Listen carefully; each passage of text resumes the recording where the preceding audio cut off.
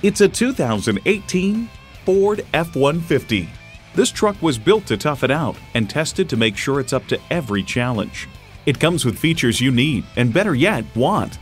Automatic transmission, four-wheel drive, engine auto stop start feature, active grille shutters, AM FM stereo radio, three 12 volt power outlets, manual tilting steering column, front tow hooks, electronic shift on the fly, and V8 engine.